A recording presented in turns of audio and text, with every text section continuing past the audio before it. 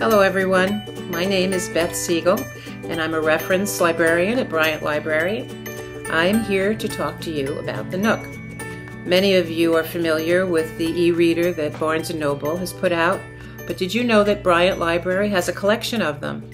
And we'd be very happy to lend one to you. Our Nook is a Glow Light Series 3.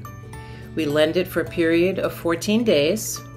It comes fully charged and it will maintain that charge for the 14 day period as long as you're careful about turning it off when you're not using it. You can also take out a charger and use that or you can use uh, any USB charger that you might have in your house uh, for any device except for an Apple device. The Nook doesn't work with Apple chargers. Um, each Nook has 182 titles loaded onto it. Uh, they're current bestsellers, they're popular recent books, they're modern classics.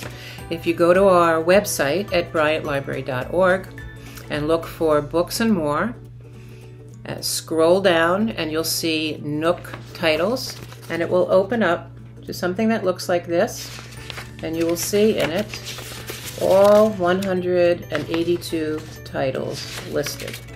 The first page are the more recent ones loaded into the Nook. Okay, so there's something there for everyone, all genres. The Nook is easy to use. You just hold down to turn it on. You hold down the button on the top of it. You hold it down for a few moments, and it's going to take a few moments to load. Okay. When it does load, it will open up to this home page. You can see here. The touch you, it will take you back to this home page. On the bottom of the screen, you'll see five icons. The only ones you need to be concerned with are this one on the left, will this graphic of books, and that takes you to the library. If you touch that, it takes you to the library of all of the books that are loaded. The other icon you might want to use is the search button. When you hit that, you can search for a particular title and it will come right up. Okay.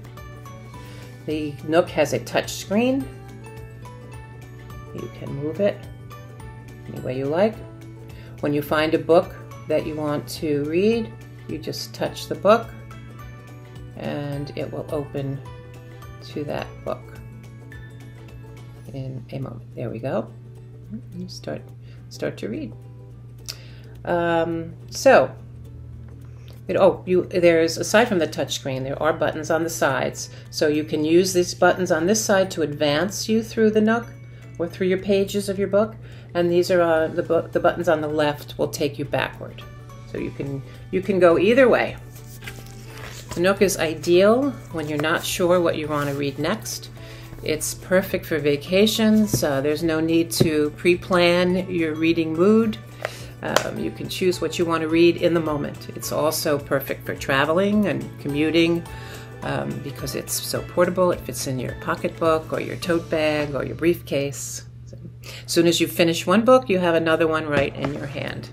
So go to our website and search for Nook and reserve a Nook today.